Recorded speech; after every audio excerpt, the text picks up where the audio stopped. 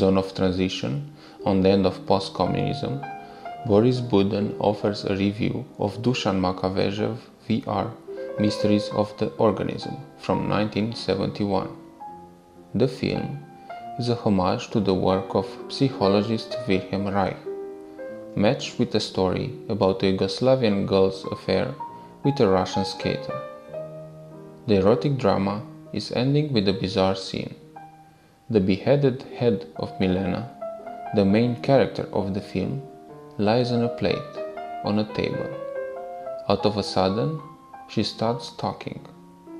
Boris Buden understands this as an epitaph about the character's failed struggle for her freedom and about the failed emancipatory project of communism. Looking towards the camera, through the screen, into the viewer's eyes, Milena says, Comrades, even now, I'm not ashamed of my communist past. Si je ne supportais plus les potences, avec mon illustre confrère, le chirurgien Louis, nous avons pensé à cette machine. Les condamnés seront décapités par l'effet de ce simple mécanisme. On ne sent pratiquement rien. Euh, tout au plus, l'impression d'un souffle d'air frais sur la nuque. Un minimum de souffrance auquel chacun a droit. C'est propre, rapide et efficace. After decapitation, there is a chance for the brain to continue living for another 13 seconds. 13 seconds is the approximate duration during which the brain can keep on going without new oxygen and glucose provided to the bloodstream. But this varies from a victim to another. Even so, she has a couple of seconds left. But this story is composed of moving digital images. She has all the time in the world. 1789. The great revolution has begun. The hands of the masses are smeared with the blood of the poor bleeding aristocracy.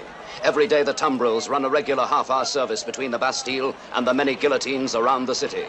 The growing mounds of noble heads are only matched by the growing mounds of unused return tickets. No one is spared. Madame la Guillotine claims them all dukes and duchesses, lords and ladies, men and women of both sexes. A dozen times an hour the drums roll, the blade falls, and the heads roll. Yes, every five minutes, a freshly sliced loaf. Would you believe me if I told you that cutting heads it's an act of socialist revolution? Would you imagine that the guillotine is a tool for social radicalism? Cutting not just through flesh and bones, but deep into social class segregation.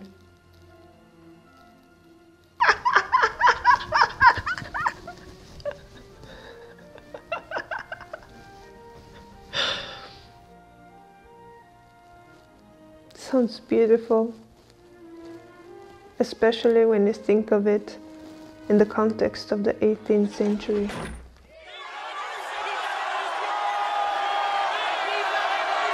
It was a revolution in itself, not just a tool for the French Revolution. It brought equality in death and equality before the law. It was invented specifically to be a humane method of punishment. A humane method to kill someone, if that thing is possible. At least it sounds understandable in the lenses of the 18th century. But the last guillotined was in France on the 10th of September 1977. 1977 was the year when the last person was legally executed by beheading in the Western world.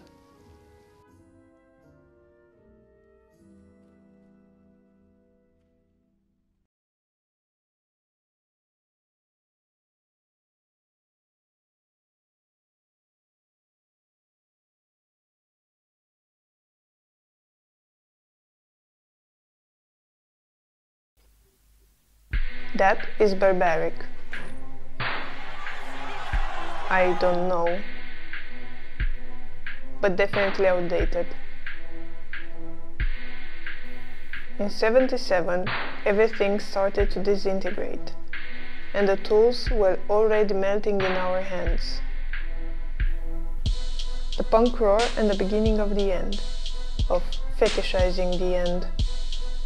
But this is a simplistic way of putting it.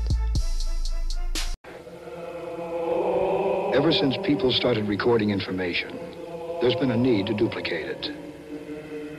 Two years before that, in 1975's Super Bowl commercials, Xerox, the US company, debuted an advertising campaign featuring Brother Dominic. The commercial presented a monk using Xerox 9200 duplicating system to produce 500 copies of a hand illuminating manuscript. This saving decades of work in the scriptorium. Brother Dominic's abbot called this apparent laboring by the scribes a miracle, as the roly-poly friar looked heavenward, thanking Xerox for the 9200. It's a miracle. By the way, God is dead. Long live the new gods. Dialectics, right?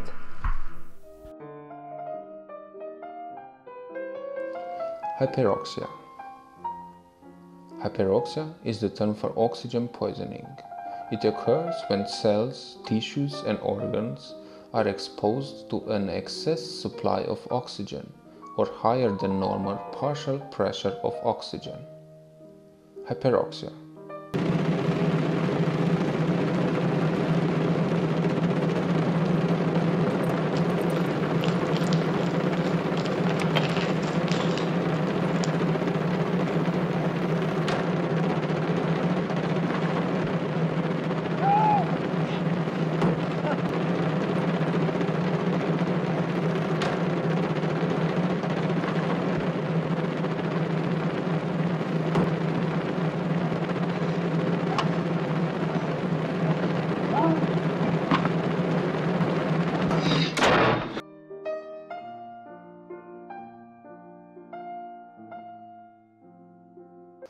I believe that there are ways to kill the brain without decapitation.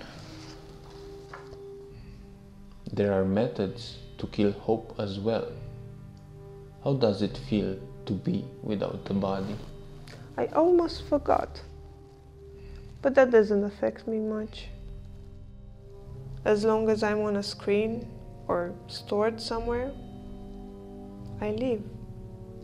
Yes, you are free.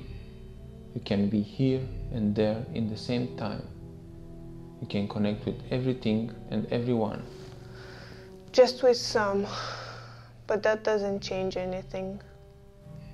Hmm, the wonders of the network.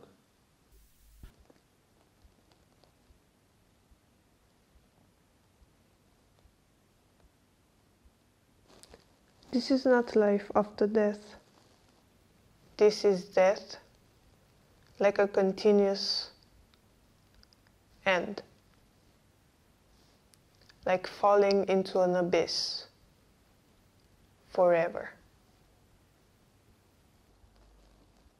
With time, one forgets that he or she is falling. Gravity is limiting her movement. She is not used to be in a continuous state of falling. Now she doesn't know how to use her limbs anymore. They feel inadequate.